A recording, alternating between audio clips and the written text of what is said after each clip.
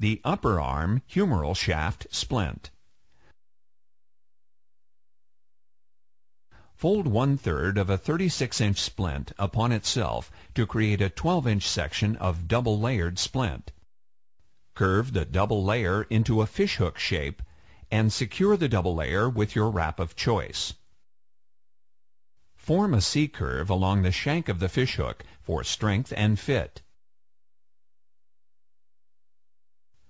Apply the splint to the patient. Fold any excess splint over the patient's shoulder or back upon itself, and secure with your wrap of choice. Apply a sling and swathe.